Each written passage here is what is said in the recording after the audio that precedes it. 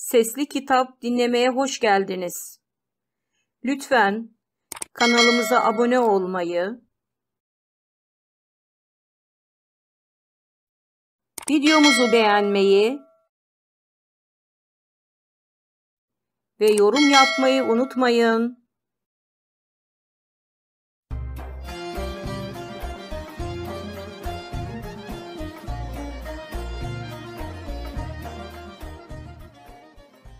Akşam Güneşi Bölüm 14 Hikayemiz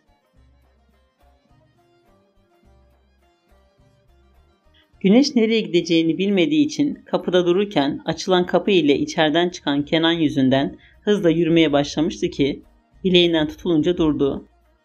Adama yavaşça dönen güneş ne var dercesine baktı. Seninle konuşmamız bitmeden gitmen gerçekten artık sinirlerimi bozmaya başladı. Bileğini kendisine çeken güneş adamı şaşkınlıkla dinledi. İçerideki konuşmaları aklına tekrar gelirken öfkeyle konuştu. Canın istediği gibi benimle konuşamazsın. Adamın omzuna çarpıp bir adım attığı an karnına dolanan el ile tüm sinirleri bozulan güneş kulağına değen dudaklar ile olduğu yere çivilendi. Başkasının çocuğunu kendi çocuğu sanan bir zavallısın. Güneş başını çevirip baktığı adama sinirle güldü. Sır vericesine konuştu. Zavallı diyorsun ama çocuğunu doğurmamı istiyorsun. İkisi de birbirini alt etmekle uğraşırken Kenan kendisine kafa tutan Güneş'e korkutucu bir halde gülümsedi. İstiyorum dedi ve Güneş'in belini kavrayıp kendi bedenine çekti. Nefesleri tutan ikiliden bir taraf korkuyor, diğeri ise bu yakınlıktan eriyordu. Kendi ayaklarınla cehennemine geldin. Güneş duyduklarına burun kıvırırken Kenan ile olan durumundan kurtulmadı. Aksine bir elini adamın göğsüne koydu. Hiç cennet vadeden olmadı. Güneş adamın boşluğundan faydalanıp Kenan'ı hızla itip duvara çarpmasına neden olurken çekip gitti. Kenan duydukları ile kızın neler demek istediğini bir türlü anlayamadı. Güneş dolan gözlerini öfkeyle silip bir anda bir odanın içine girdi. Kapıyı kapattığı gibi bedenini kapıya yasladı. Gözyaşları yanaklarını ıslatırken canı acıyordu. Nefesini kesen adam her sözüyle yok ediyordu. Güçlü durmaya çalıştıkça battığını hissediyordu. Başını eğdiği yerden kaldırıp gözyaşlarını kuruladı. Oturma odasını sonunda bulup kızının yanına gidip kucağına aldı. Gözleri üzerinde hisseden güneş ses etmedi. Kendisini süzen Meryem'e öfkeyle baktı. Eğer bu evde Reyhan'ın kalması için çaba sarf etseydi, şimdi kollarında anne diye dolanan kız kendi annesinden ayrı büyümeyecekti. Kadına neden diye sormamak için kendisini o kadar sıkıyordu ki bakışlarını bir saniye olsun çekemedi. Güneş biraz daha bu odada kalırsa eğer kesinlikle kendisini tutamayacaktı. Hira'nın elinden tutup yürüdü. Kalacakları odaya giderken Hira elini bırakıp bir odanın kapısının önüne gelip durdu ve kapıyı açtı. Güneş kızına yetişmek için büyük adımlar atarken Kenan da onları gördü. Güneş odaya girdiği an donup kaldı. Reyhan ile Harun odasıydı. Resimleri duruyordu ikisinin. Hira gidip bir çerçeveyi eline aldı ve kapıda kıpırdamadan duran Güneş ile Kenan'ın yanına gitti. Anne, uynar Tim. Güneş tek kelime edemezken boğazına yapışan el nefessiz bırakıyordu. Bu duruma oturup ağlamak istiyordu. Bakışlar odada gezindi. Reyhan'ın anlattığı gibi bir odaydı. Bu odada onların sesi kulaklarına gelirken daha fazla odada duramayacağını anlayınca kızını kucağına aldı. Elinde duran resme bakarken burukça gülümsedi. Getirdim emanetinizi dedi kısık bir sesle. Kenan gördükleri ile omuzlarındaki yük ağırlaşmıştı. Hira babasını ve annesini tanımamıştı. Dolan gözleri ile Hira'ya bakarken Güneşle Kenan göz göze geldi. Güneş uyuttuğu kızına bakarken ağlama isteğine engel olamıyordu. Yataktan kalktığında Kenan da koltuktan kalkıp karşısına geçti. Güneş adamla kavga edecek halde değildi. Konuşamadan kapı çaldı. İçeriye giren Sinem ile Güneş daha fazla kendisini tutamayıp banyoya girdi. Kapıyı kilitledikten sonra soğuk suyun altına girdi. bedenini, ruhunu yakan acı geçsin istiyordu. Dakikalarca suyun altında kalırken iyiden iyiye üşüdüğünü hissetti. Ne bir havlu vardı ortada ne de başka kıyafeti. Islak kıyafetler ile içeri geçti. Odada kimseyi göremedi. Hira da yoktu, Kenan da. Gecenin bir vakti olurken güneş kendisini hiç iyi hissetmiyordu. Midesi bulanıyor ve üşüyordu. Yattığı yerden kalkarken bile üzerinde kırgınlık vardı. Sabaha düğün olacaktı. Güneş karar vermişti. İçi yana yana kızını burada bırakacaktı. Bu evde Hira'nın hayatında fazlalıktı. Gitmesi gerekiyordu. Sabaha kadar doğru dürüst uyuyamayan güneş hazırlıkların içinde kaybolurken bu saçmalığa son vermek için Kenan'ı bulmak için kadınların yanından ayrıldı. Koridorda yürürken arkası dönük olan Meryem'i gördü. Kadın ne yaptığını başta anlayamazken daha sonra Hira'yı gördü. Kadın küçük kızın kolundan tutup sarsmaya başlayınca güneş tüm öfkesiyle kadının yanına gitti. Kolun tuttuğu kadını ittiği gibi kızını kucağına aldı. Ağlayan kızını sakinleştirmeye çalışırken kadına bağırdı. Siz ne yapıyorsunuz? Bu çocuk neden bu kadar yaramaz, terbiyesiz? Meryem Hanım, Hira küçücük bir çocuk. Ne gibi bir terbiyesizliği olabilir? Elini belinin yanına koyan kadın güneşi küçümseyerek cevap verdi. Anası sen değil misin? Evlenmeden çocuk yapan kadından terbiye size mi soracaktım? Kafan dik, iyi bir şey yapmışsın gibi ortalıklarda dolanıyorsun. Hiç merak etmeyin. En kısa zamanda bir tane daha doğuracağım. Güneş kadın açık kalan ağzını aldırmadan kızını da alıp oradan ayrıldı. Ölse bile kızını bu kadının yanında korumasız bırakmayacaktı. İçinde zerre sevgi olmayan bir kadındı. Kızı sessizce dururken güneş kızını kucağından indirip gülümsedi. Prensesim süt içelim mi? Başını olumsuz anlamda sallayan kızın boyuna gelmek için dizlerini kırdı. Çok mu canın yandı anneciğim? Gözleri dolan kızı hemen sonra ağlamaya başladı. Ellerini tutup öptüğü kızının yaşlarını sildi. Sana söz veriyorum Hira. Asla ama asla bir daha canını yakamayacak. Kucağında kızıyla odaya dönen güneş, odaya girince gözler kendilerine çevrildi. Gidip koltuğa oturduğu an arkasından da Meryem içeri girdi.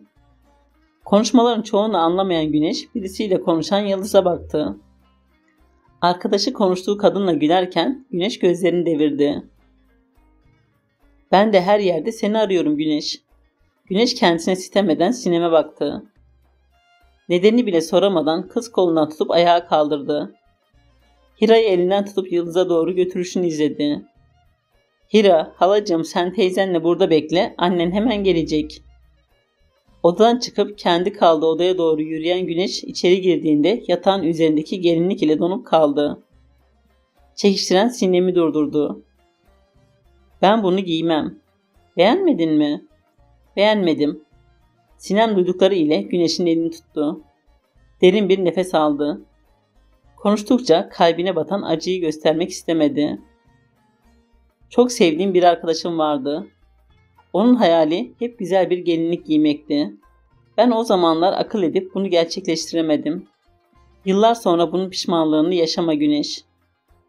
Sol gözümden akan yaşı elinin tersiyle silen sinem gülümseyerek gelinliğe doğru yürüdü ve elini aldı.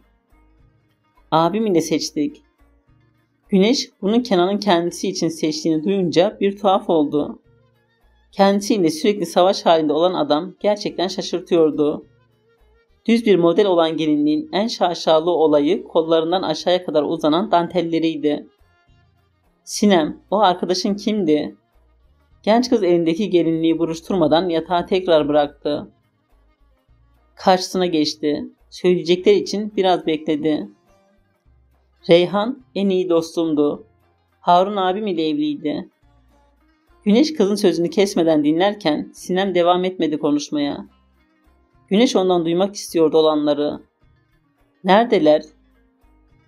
İkisi de öldü. Başını kaldıran Sinem ağlamamak için gözlerini kurulayıp durdu. Ne zaman bu konu geçse canı daha fazla acıyordu. Giyecek misin gelinliği? Başını evet anlamında sallayan güneşe gülümseyerek cebinden telefonu çıkardı. Güneş saçını bitiren kadının ardından ayağa kalkıp boy aynasından kendisine bakınca gördüğü kişiye şaşırdı. Ne kadar değişmişti böyle? Üzerine tam oturan gelinlik ile burukça baktı. Ne gelinliği ne evlenmeyi istiyordu. Odanın kapısı açıldı ve içeriye giren Kenan ile buluştu gözleri. Adama bakan güneş siyah takımın yakıştığı adamdan bakışlarını kaçırmak istedi ama daha sonra bundan vazgeçti. Kenan gelinlik ile gördüğü güneşe duyduğu ilgiyi yok edemedi. Kız peri kızı gibi karşısında duruyordu. Odanın içerisine girdi ve diğerlerinin çıkmasını bile fark etmedi. İkisi de birbirine bakarken Kenan kendisini toparlamayı başarıp kıza büyük adımlar ile yürüdü. Ceketinin cebinden çıkardığı kutudan kolyeyi güneşe takmak istedi. Fakat güneşin buna izin vermeyeceğini bildiği için kutuyu kıza uzattı. Bu nedir? Kolye. Kutuyu açan güneş tekrar Kenan'a baktı. Kuyumcu musun sen? Kenan odada kahkahasını atarken güneş adamın gülerken gerçekten yakışıklı oluşunu fark etti. Adam elinden kolyeyi alıp arkasına geçti. Boynuna değen elleriyle yutkunan güneş boynundaki özel işlemeli kolyeyi tuttu. Kulağın arkasındaki nefesin ensesine çarpması ile nefesini tuttu. Kalp öyle hızlı atıyordu ki ne diyeceğini bilemedi.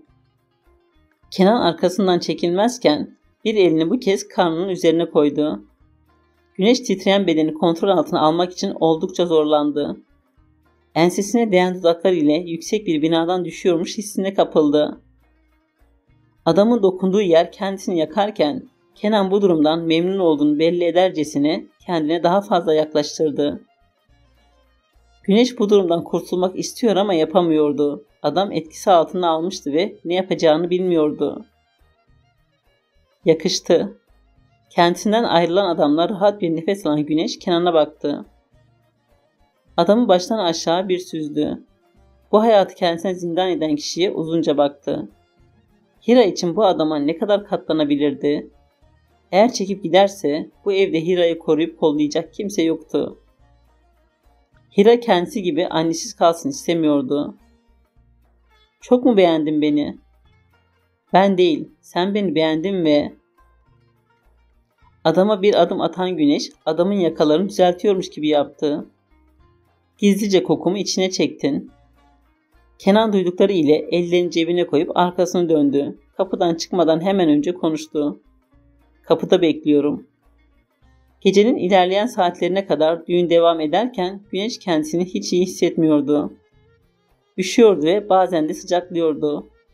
Oturduğu odaya giren kadınları izlerken birisine gözleri takıldı. Hiç gözlerini ayırmadan kadını izledi. Meryem ile konuşan kadın kendisine doğru gelince ayağa kalktı. Esmer, uzun boylu ve tıpkı kendi gözleri gibi yeşil gözlü kadına tebessüm etti. Kadına içi ısınan güneş karşılıklı durduğu kadının elini uzatmasını bekledi ama kadın kendisine çekip sarıldı. Güneş içinde anlamlandıramadığı bir özlemin son buluşunu hissederken kalbi sevinçle atıyordu. Daha önce görmediği bu kadın neden böylesine tanıdık geliyordu anlayamadı. Hoş geldin Güneş. Hoş buldum. Ben Kenan'ın amcasının eşiyim. Adım Sultan. Memnun oldum efendim.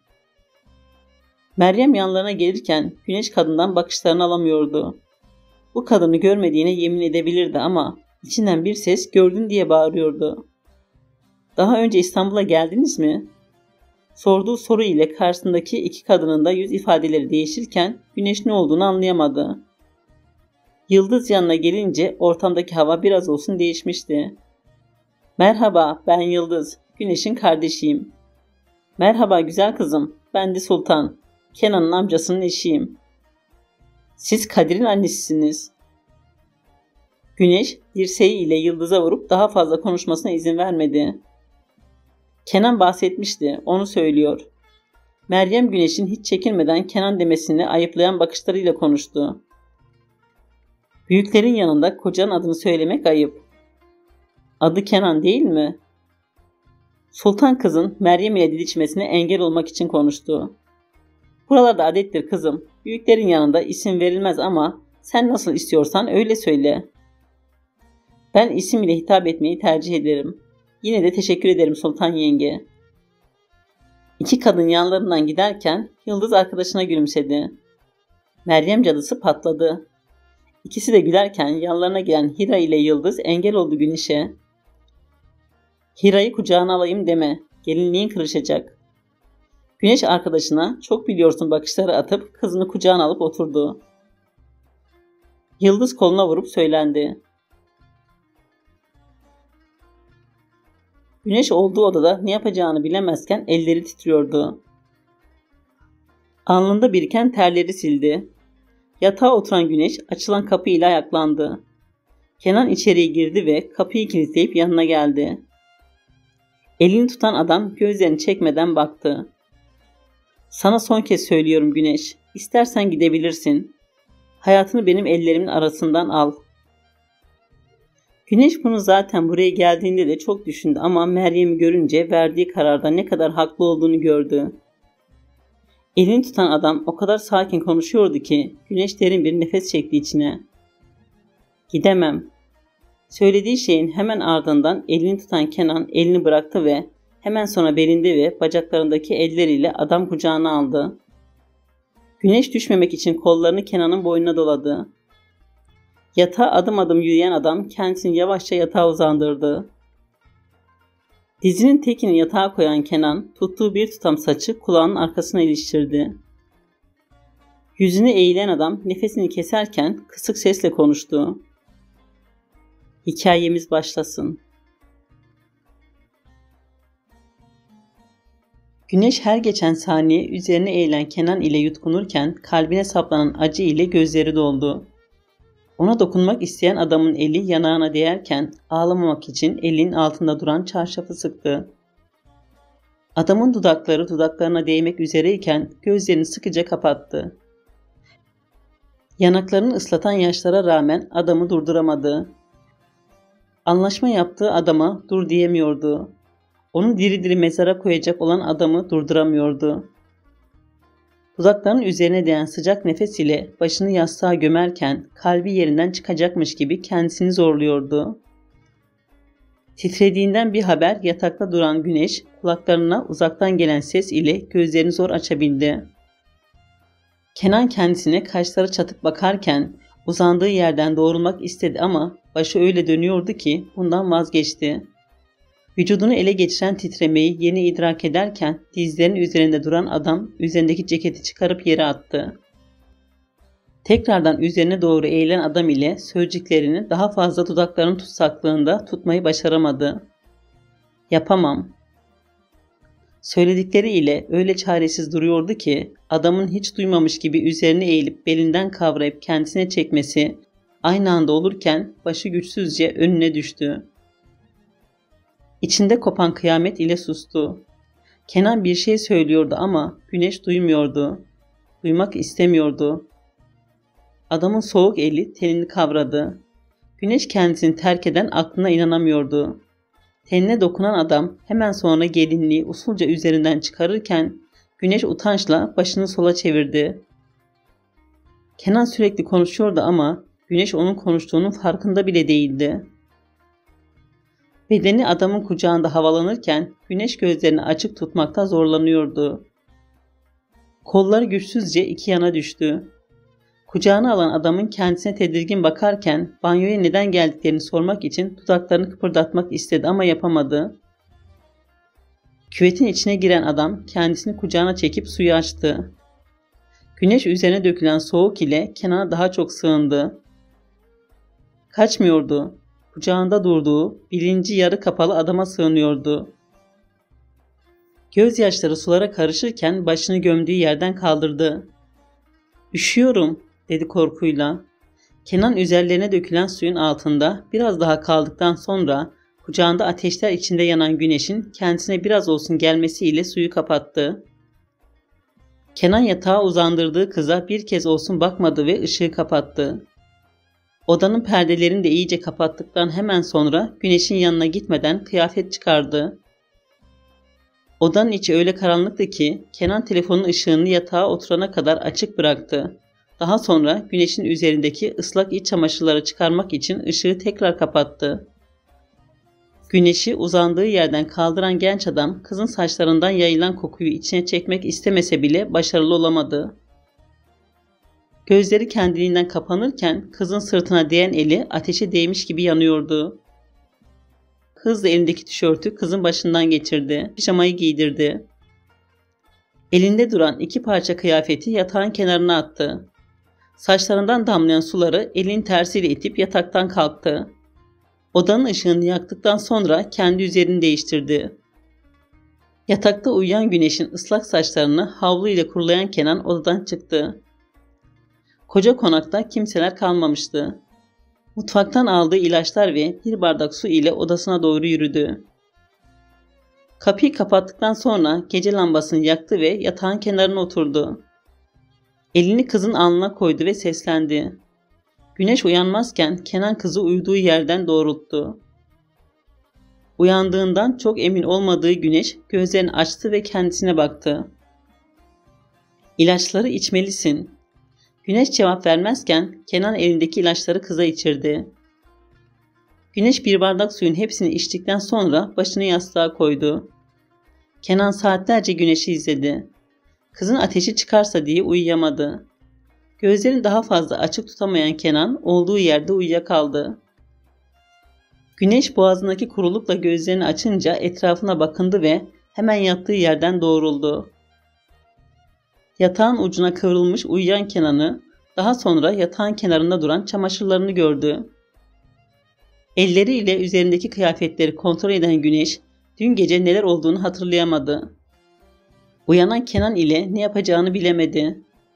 Yataktan çıkmak için hareketlenmişti. Kenan dizlerinin üzerinde yürüyerek kendisine yaklaştı. Elini kaldıran adamı görünce yüzünü elleriyle siper ederek koruyan Güneş korkuyla bekledi. Kenan uyanınca kendisine şaşkınlıkla bakan Güneş'in ateşini kontrol etmek için hemen kıza doğru gidip elini kaldırması ile Güneş yüzünü kollarıyla örttü. Kenan bu duruma kaçtır şahit oluyordu. Usulca yaklaştı Güneş'e. Kollarını indirdi ve elini kızın alnına koydu. Ateşi yoktu. Kendisine bakan kıza göz kırpıp yataktan kalktı. Kenan banyoya girmek üzereyken Güneş yataktan çıktı ve Kenan'ı bileğinden tutup kendisine çevirdi. Dün ne oldu? Güneş sadece yatağa uzandırıldığını ve adamın üzerine eğildiği kısmı hatırlıyordu. Gerisi onda yoktu. Kenan ile dün akşam neler olduğunu merak ediyordu. İstediğin şey oldu. Güneş hiçbir şey anlamazken Kenan banyoya girdi. Güneş yüzüne kapanan kapının ardından yatağa baktı. Daha sonra yatağın kenarına saçılan kıyafetleri. Üzerindeki kıyafetleri aynadan fark ederken yanakları kızardı. Üzerindeki tişört içini olduğu gibi gösteriyordu.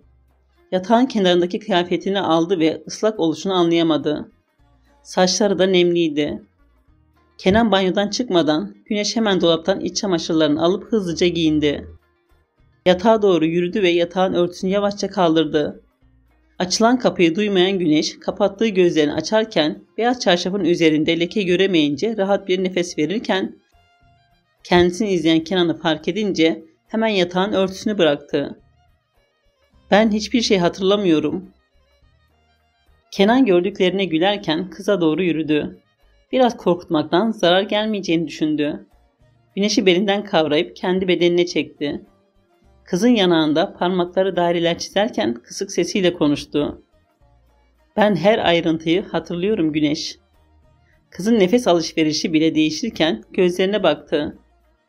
Güneş kendisinden korkuyordu ve bu duruma kahkahalar atmamak için başını sola eğdi. Keşke sen de hatırlasan.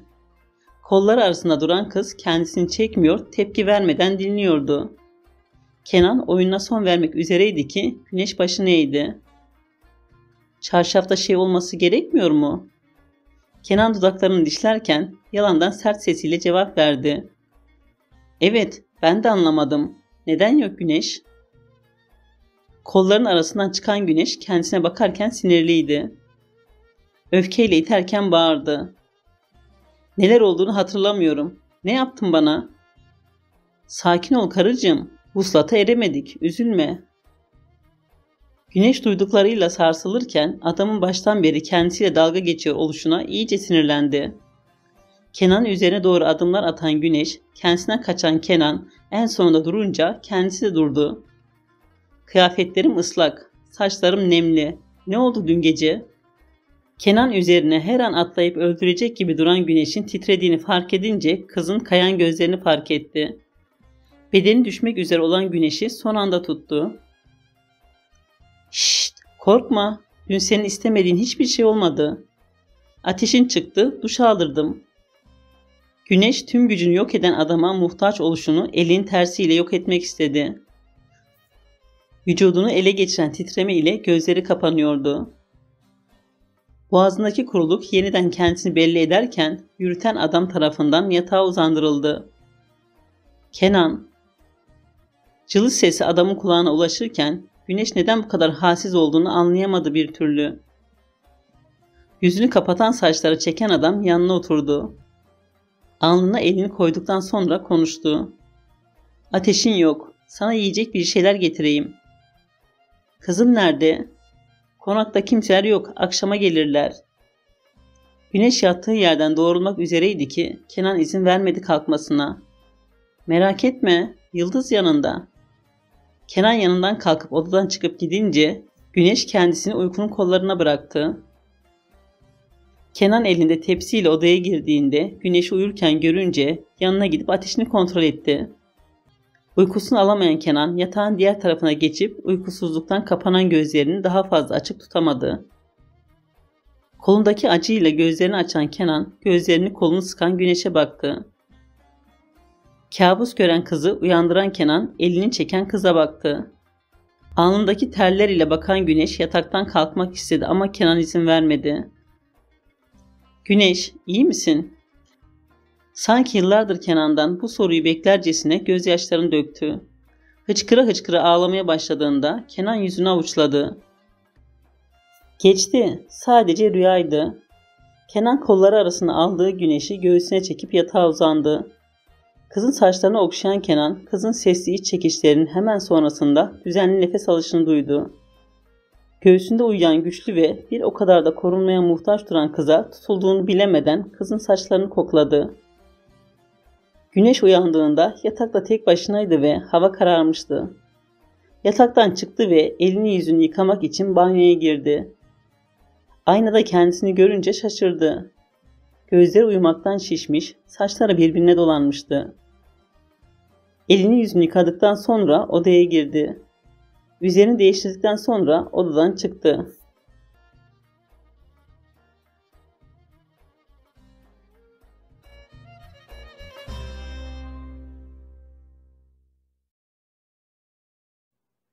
Lütfen kanalımıza abone olmayı,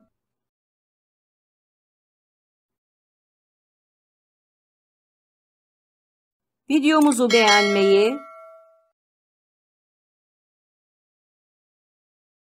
ve yorum yapmayı unutmayın. Sesli kitabımızı dinlediğiniz için teşekkür ederiz.